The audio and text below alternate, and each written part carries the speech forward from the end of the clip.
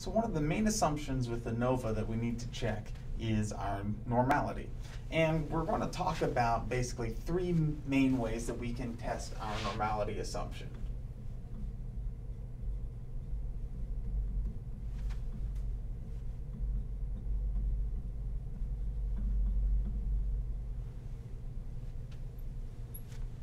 Okay, so the three ways that, that we've really got are uh, one is we can just look at the histograms.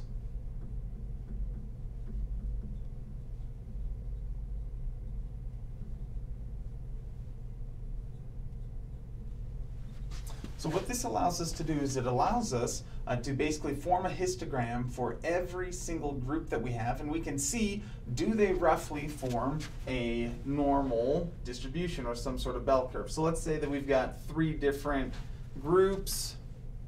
So we're going to have three different little histograms, and we might see something that looks like this.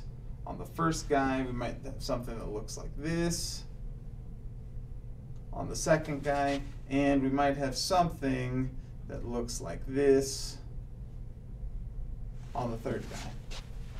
Now each of those looks slightly different, but on each of them they basically form a rough bell shape. And remember, the requirement isn't that they perfectly follow this normal distribution, it's that they, they are roughly following a normal distribution. So that's one way that, that we can try to determine and assess if we have a normal distribution for all of our groups is to look at the histograms. Another way that we can do this is we can do what is called, we can look at the what are called QQ plots.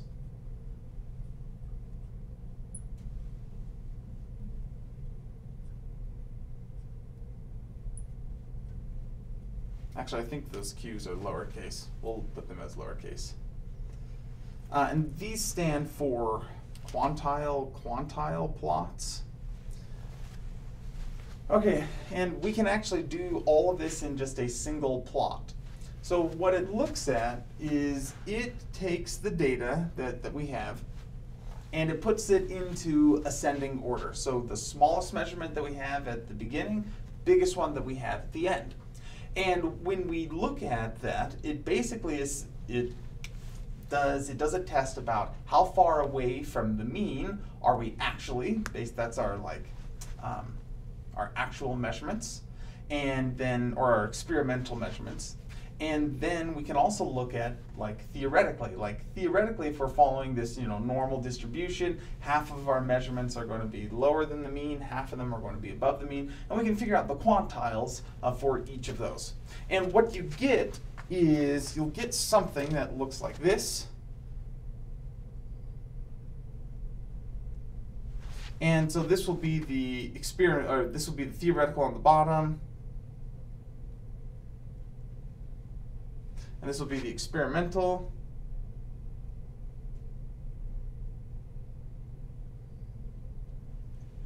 And what we're looking for is we're looking for this guy to basically follow some sort of straight line.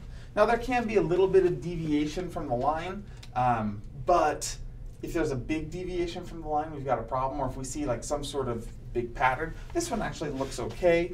But if we were to instead have seen something that has like a super heavy tail or something, like it starts to deviate a lot, and maybe we kind of go up like this and then back down, that doesn't really follow a linear line, and we might be you might want to take a deeper look to see what's actually going on with some of these specific data points and see if it's from a specific group that really doesn't follow a normal distribution. Okay, so we've got histograms by group, and we can look at the QQ plots. And the software will actually produce these very quickly for us. The last one that, that we can do is we can look at what's called the Shapiro-Wilks test.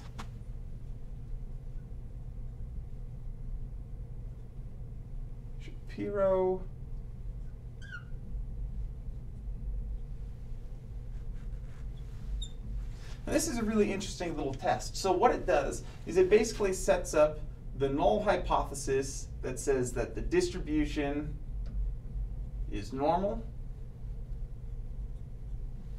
and the alternative hypothesis that the distribution is not normal. We can do this by groups, and it will kick us out uh, some individual p-values. So if we had three groups, we'll say group one, group two, group three. It'll kick you out a p-value. Let's say this p-value equals 0.5, p-value equals 0.9, and then the p-value equals point, uh, we'll do 2. And we can do this test at like the same alpha level. We can do 0.05.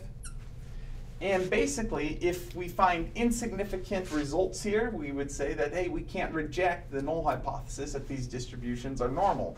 So we just continue along that, um, along this same assumption. Now, if one of these gets down to being a significant result, let's say this is 0.01, then we would reject the null hypothesis and that, hey, one of these distributions is not normal. And we could look at that you know, third group and we'd say, hey, we probably can't include that in our ANOVA uh, because it's not following that normal distribution.